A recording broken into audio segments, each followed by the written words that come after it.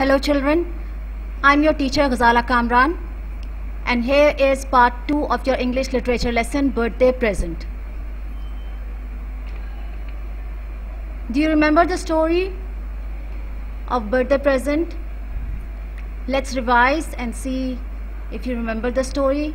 Here are a few questions. If you remember these questions then you remember the story. Question 1. What the story is about? Question 2. What was Gillon's present? Question 3. How did Gillon manage to give Omri a birthday gift without any pocket money? So you remember the story now? The story was about birthday presents. Gillon received many gifts on his birthday. He received a skateboard from his parents. His elder brother Adil gave him a helmet. His friend Patrick gave him a plastic figure of a red Indian toy. And then his brother Gillon gave him a white metal cupboard. Now that white metal cupboard had a lock in it and Gillon and Omri was trying to find a key for it. Their mother gave them a box which contained a bunch of keys, lots of keys in there. He tried the keys one by one and let's see if he can find the key which fits the cupboard lock or not. So shall we begin? Before we start reading here are a list of new words for us to read from. Let's read together. Number one, grateful. Two, fed up. Three, appreciate. Four, flattish. Five, kryptonic. 6. Regretted 7. Florence 8. Content 9. Imagined 10. Cautiously 11. Peered 12. Scrabbling 13. Petrified 14. Undoubtedly and 15th. Crouching. Now let's see the meaning of these words. Grateful means thankful fed up, tired of, appreciate, be pleased about, flattish, dull, kryptonic. Kryptonic is the name of skateboard wheels which were very popular in the 1970s. This is the time when this story was written. Regretted means to be sorry. Florence is the name of a city of Italy. Content means satisfied. Imagine means made up. Cautiously, carefully. Peered, looked. Scrabbling, groping. Trying to feel something with your hands. Petrified, extremely frightened. Undoubtedly, absolutely. Crouching, stooping or bending down. So now that we know the meaning of the words, let's start reading the lesson. Okay, we are on page number 12. Okay, if you have your books, open them up and read with me. Most of the keys were much too big, but there were half a dozen that were about the right size. All but one of these were very ordinary. The unordinary one was the most interesting key in the whole collection. Small, with a complicated lock part and a fancy top. A narrow strip of red satin ribbon was looped through one of its curly openings. Omri saved that key for last. None of the others fitted, and at last he picked up the curly topped key and carefully put it in the keyhole on the cupboard door, just below the knob. He did hope very much that it would turn, and regretted wasting his birthday cake cutting wish on something so silly, or rather unlikely, as that he might pass his spelling test the next day, which would take real magic to bring about, as he hadn't even looked at the words since they had been given out four days ago. Now he closed his eyes and unwished the test pass and wished instead that his little twisty key would turn Gillon's present into a secret cupboard. The key turned smoothly in the lock. The door would not open. Hey, Mom, I found one. So we've reached the end of page 12 and I hope you understand the story. Let me tell a little summary of what happens here. So Omri's mother gave him a box full of keys to try in the cupboard lock and see if any of the keys fitted. So out of all those keys one was a very fancy one. It was very small and it had a red satin ribbon through one of its loops. So he wished that this key would fit the lock and he decided to try it in the last. So all of the keys did not fit and Omri was left with this fancy one. So before trying it in, he wished that this key would fit the lock and he made it his birthday cake cutting wish. Previously when he was cutting his cake, he wished that he would pass a spelling test. The test was given four days ago and he had not even looked at the words yet. And this he thinks that requires a real magic for him to pass the test now because he had not even studied. And now he was thinking that it was a very foolish wish for him to think that he can pass this test. Now the real thing he wanted was for this key to fit the lock. So he turned the key in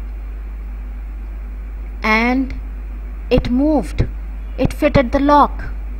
So he was very happy. He shouted it out to his mother that he has found the key. Okay, let's move on to the next page now.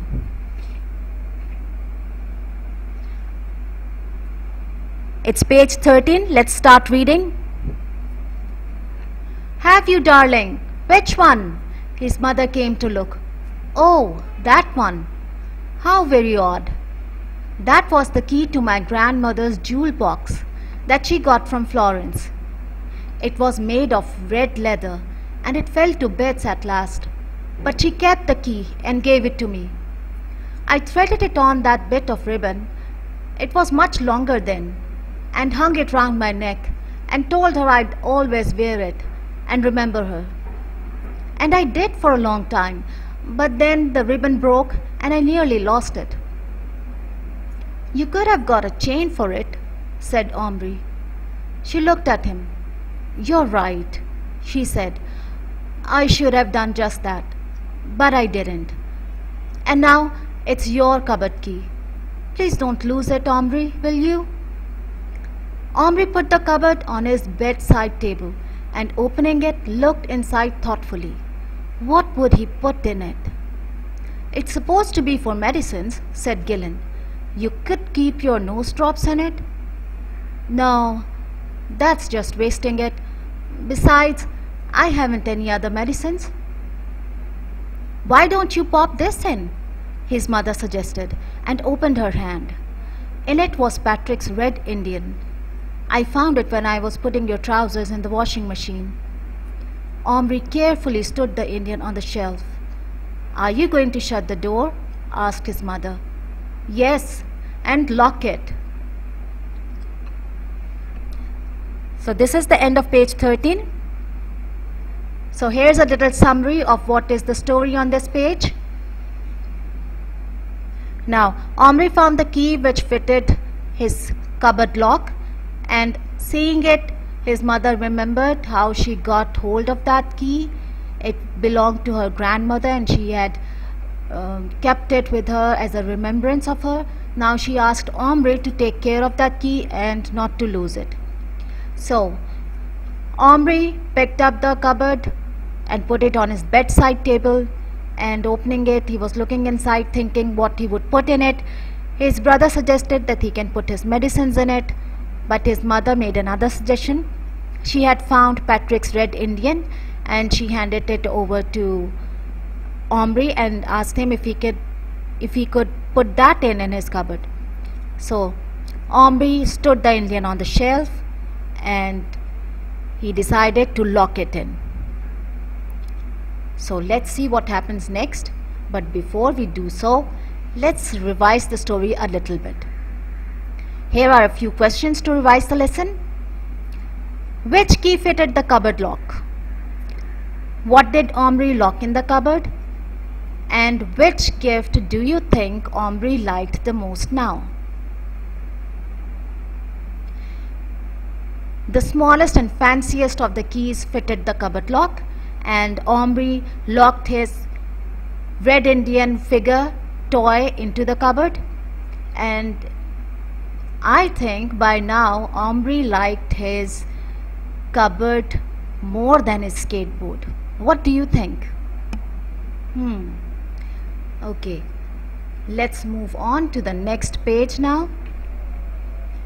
Okay, we're on page number 14 now. Okay, let's start reading. He did this and then kissed his mother and she turned the lights out and he lay down on his side looking at the cupboard. He felt very content. Just as he was dropping off to sleep, his eyes snapped open. He had thought he heard a little noise. But no, all was quiet. His eyes closed again. In the morning, there was no doubt about it. The noise actually woke him. He lay perfectly still in the dawnlight, staring at the cupboard from which was now coming a most extraordinary series of sounds a pattering, a tapping, a scrabbling, and surely a high pitched noise like, well, almost like a tiny voice. To be truthful, Omri was petrified. Who would not be? Undoubtedly, there was something alive in that cupboard. At last, he put out his hand and touched it. He pulled very carefully. The door was tight shut. But as he pulled, the cupboard moved just slightly. The noise from inside instantly stopped. He lay still for a long time, wondering. Had he imagined it? The noise did not start again. At last, he cautiously turned the key and opened the cupboard door. The Indian was gone. Omri sat up sharply in bed and peered into the dark corners. Okay, the end of page 14 and the story has gotten really exciting now. Are you excited to find out what happened? Where has the Indian gone? And what were the noises that were coming from the cupboard? What do you think? Why were the noises coming from the cupboard? What could be inside the cupboard that was making all those noises? Do you want to find the answer? Let's read the last page and find out what had happened.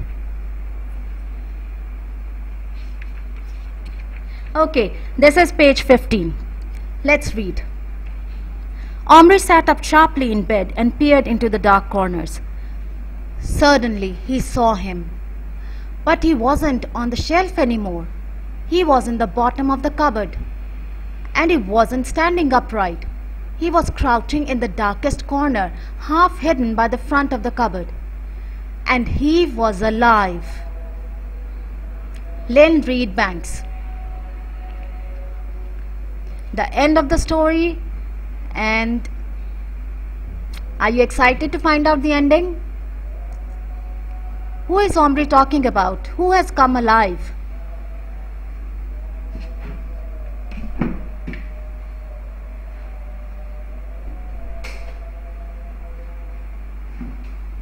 Okay, yes, you are right. The Indian toy, the Indian figure had come alive.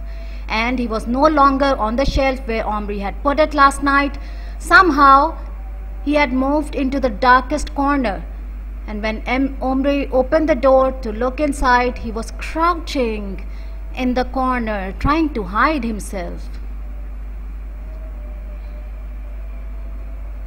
What an exciting turn the story has taken. Would you like to find out what happens next? Can you imagine the story further on on your own? If you were in Omri's place, what would you do?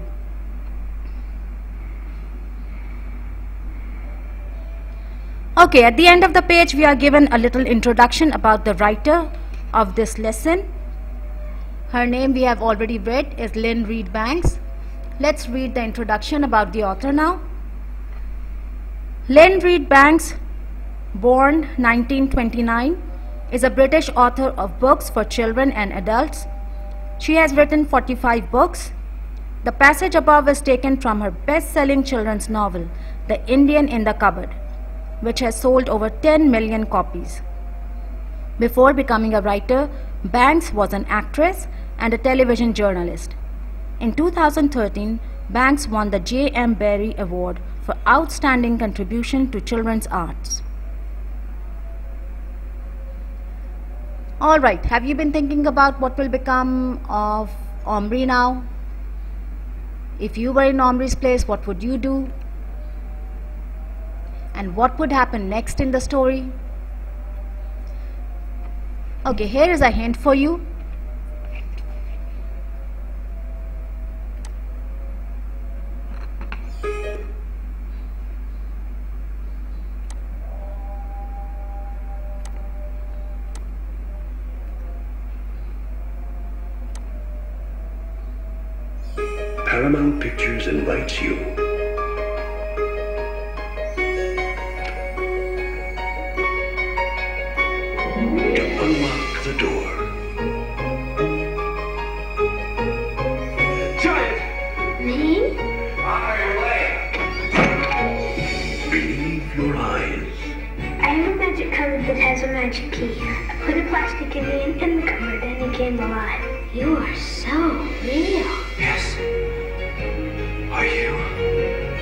your mind. He is a real Iroquois man. He talks, eats, he trusts me. That's very interesting. Good imagination. And live the adventure. Wow, this is the Plastic Indian? Not plastic anymore.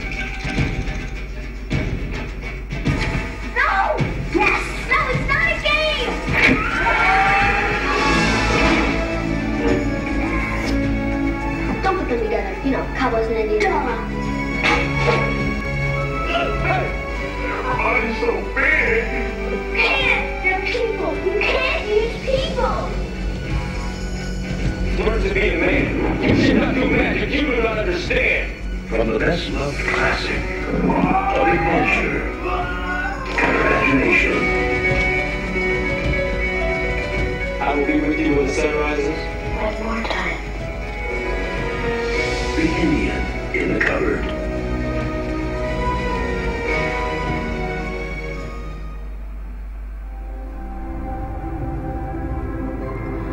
Okay, I hope you liked that trailer of the movie Indian in the Cupboard. Here's a little topic that I want to share with you using an online dictionary. I'm sure all of you already know how to do this, how to look up meaning through internet. But for those of you who struggle a little bit with this work or maybe don't know, okay, let's go through it quickly. Now if you want to use an online dictionary, all you have to do is open up a browser like this like I have used here Google. Okay you have to search for the online dictionary. I'm searching here for Merriam-Webster dictionary. There are a number of good dictionaries online. Okay out of all the results that I received I'm going to click on this one. After clicking I was led to the web page of the Merriam-Webster dictionary. Here is a search sign search button. Through this I searched for the word appreciate. And the result I got looked like this. The word is written here. In front is the part of speech which it is. It is a verb. And after this I am given two more forms of verb. Past participle and present participle forms are also given. And the pronunciation of the word is also given if you want to hear the pronunciation you can click on this audio button now, in the last definition of appreciate, here are three meanings which are given A, B, C. So many words are like that which have more than one meaning and you have to read all the meaning, two meaning, three meaning, how many as they are.